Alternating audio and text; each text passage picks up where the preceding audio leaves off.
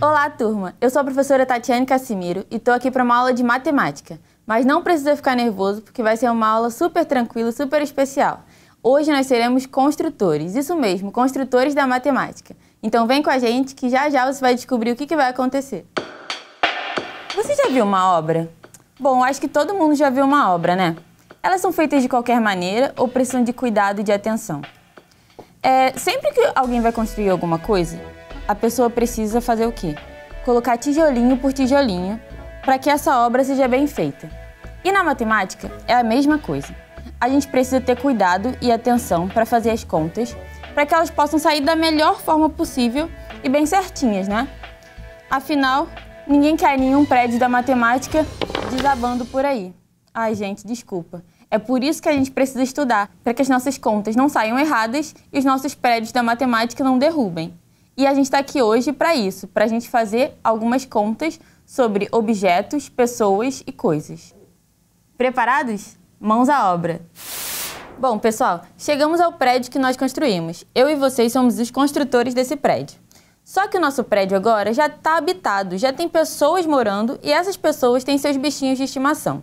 A nossa tarefa de hoje vai ser contar quantos apartamentos tem em cada andar do nosso prédio, quantas pessoas tem morando nesses apartamentos e quantos animais essas pessoas têm. A gente vai começar primeiro com os apartamentos. Então vamos lá? Eu vou escrever aqui para a gente se guiar. Cada janelinha do nosso prédio representa um apartamento. Então a gente vai contando andar por andar para ver quantos tem. Lá embaixo, ó, no primeiro andar, nós temos quantos apartamentos? Um. Segundo andar também, um. Terceiro andar, um. Cada andar tem um apartamento, então a gente pode colocar, como temos seis andares, seis apartamentos. E agora o que a gente vai fazer? A conta. Vamos contar quantos apartamentos nós temos no total. Um mais um, dois. Mais um, três. Mais um, quatro. Mais um, cinco. Mais um, seis. Então, nosso total de apartamentos é 6. Temos seis apartamentos no nosso prédio. Agora, vamos contar quantas pessoas temos morando em cada andar do nosso apartamento. Então, vamos escrever aqui pessoas.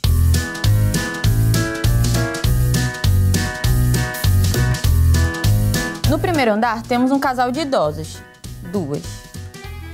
A gente anota aqui para não se perder. No segundo andar, temos uma família de quatro pessoas. Então, a gente vai escrever aqui quatro. No terceiro andar, temos um pai com seu filho. Então, são duas pessoas novamente. No quarto andar, temos um pai, uma mãe e uma criança. Três pessoas no total. No quinto andar, mora um pai, a mãe, a filha e uma neta. E no último andar, temos apenas uma moradora.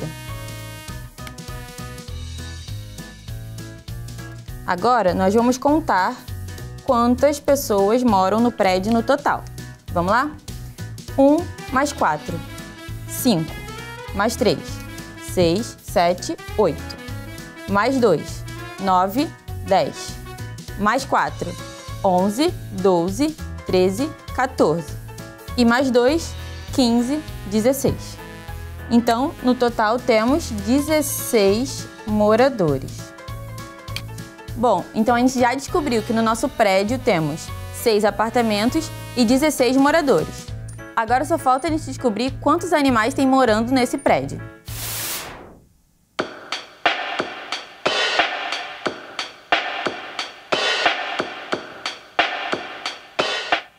No primeiro andar, temos dois cachorros.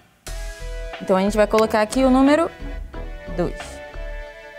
No segundo andar, temos quatro peixes. Então, quatro. No terceiro andar, nós temos um porquinho da Índia e um coelho. Então, dois animais no total. No quarto andar, temos apenas uma tartaruga. No quinto andar, temos dois papagaios.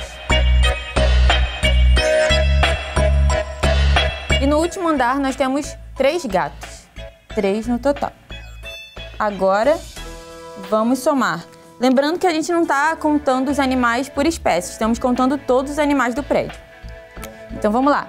3 mais 2, 5. Mais 1, 6. Mais 2, 7. 8.